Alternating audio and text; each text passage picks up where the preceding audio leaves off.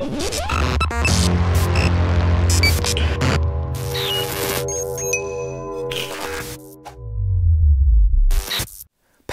Welcome back to the channel, Dan Who Reviews. My name is Dan Who. Make sure you're following me on Instagram. Today, our Marvel Legends reviews continue with this Build-A-Figure Hulk wave from the Thor Ragnarok film. Obviously, the film doesn't come out until October, but we got these figures now. Obviously, in front of me, we have probably my most anticipated figure of the wave, Marvel's Hela played by Cate Blanchett in the film. And as you can see, we get an alternative head. I was so happy to see that when they revealed it, along with the comic style inspired head crown, antlers, crazy thing uh, from Jack Kirby's brain.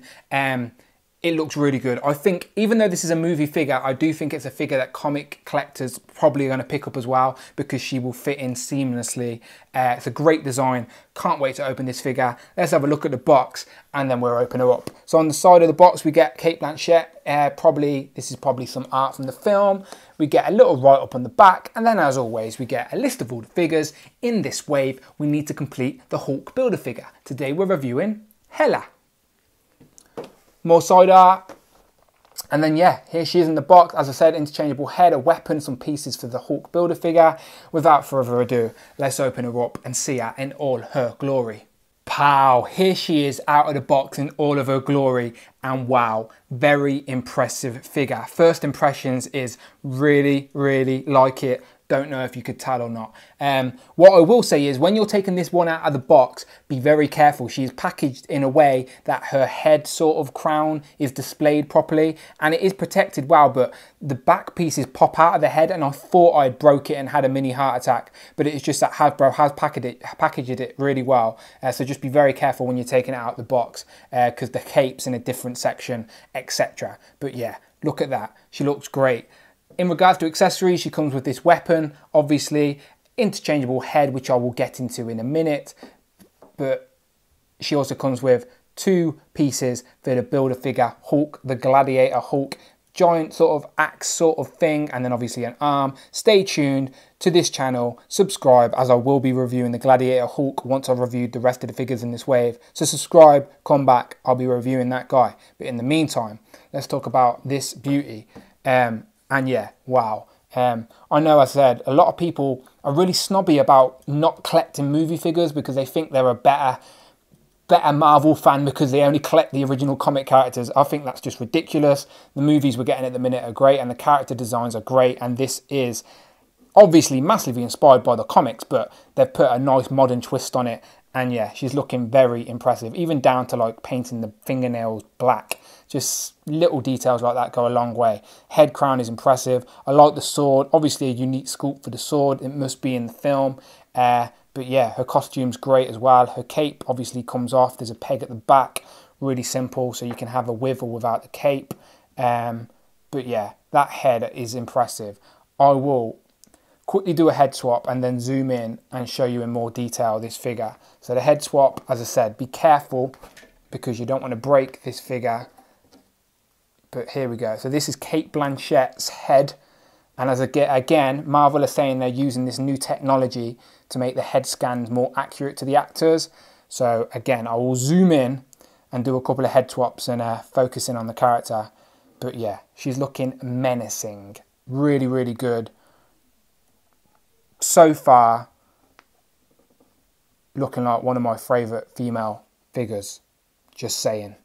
So here's a closer look of the head sculpt of Cate Blanchett playing Hela. My lights are probably a little bit too bright, so it's shining off the face and uh, making it look a bit too shiny. But it is very, very good, very accurate to what we have seen in the trailers so far.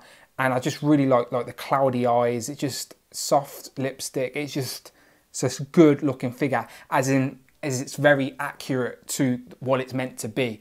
Um, but yeah, while she's here zoomed in, the outfit as well, brand new sculpting all the way, all these lines meet up, metallic sort of um, green. As I said, I very much like the colour palette of this film, just in general. Um, but yeah, the cape's more flexible, um, so it's not one of those stiff capes, but it's, again, I'd still prefer to see Hasbro doing cloth capes. But I like that the hair is sculpted in a way so it's like the wind's blowing on her and it's not just straight. Um, but yeah, really impressive, really impressive. The cape's got a nice little sculpt at the top. The peg's probably a little bit higher than on you normal capes. And then uh, it sort of hugs, oops, you can't see now.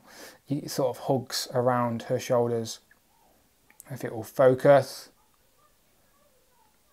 Can you see that, how it hugs around the shoulders there? But yeah, really impressive face sculpt. Let's uh, swap the heads real quick.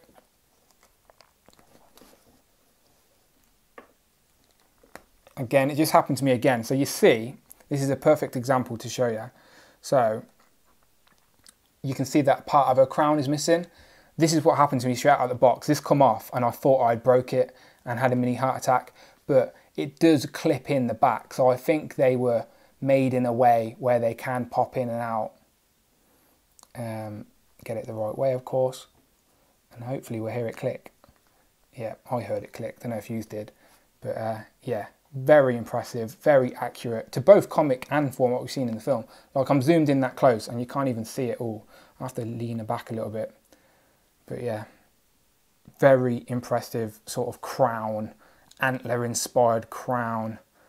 Um, but yeah, this figure is looking good. Now there's rumours she may be playing Death uh, or Lady Death as in the, the person that Thanos loves and lusts after um, in Infinity War. Um, don't know how true that is yet, but I thought it would be nice to see what these two look like. Hopefully we get an MCU version Thanos Build-A-Figure, maybe in the future. I'm not too sure if uh, they teased us with that, that San Diego Comic-Con, or we're just going to get a reissue of this guy with the uh, Infinity Gauntlet. Hopefully it's an MCU version with the Josh Brolin style Thanos. But nevertheless, these two still look good posed together. And uh, I just like showing off my uh, Thanos um, throne from I think his Guardians of the Galaxy appearance. It's inspired. It's not completely accurate. I, it's sort of I took inspiration from that film and then I made this throne for my displays. And I will be doing this display video soon as well, people. So make sure you subscribe to the channel. But yeah, these two look great together. So here's Hela compared to Polaris and also Enchantress. I'm probably still saying her name wrong, but I wonder why I compared these three figures together. Hmm, Maybe it's because they like the colour green. Even still, it's a good comparison because it shows you the height difference. Hela does stand a lot taller than your average female comic version figure.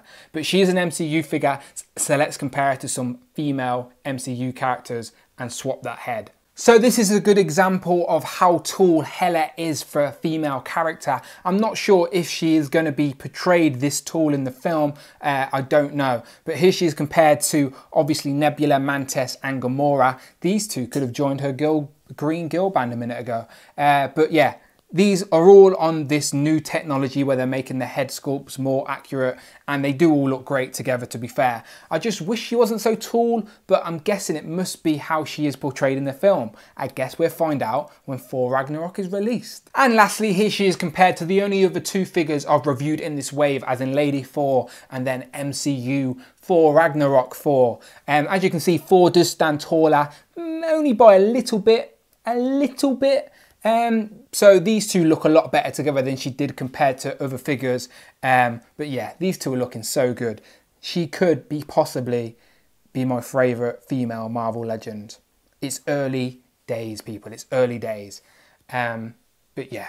So final thoughts, yeah, this figure is great. As I've kept gushing about it throughout this review, could possibly one of my be my one of my favourite female Marvel legends. Uh, so happy they gave us both heads, this comic style and movie accurate head, and then also the Cate Blanchett head. I can't wait to see her portrayal of Hela in the film.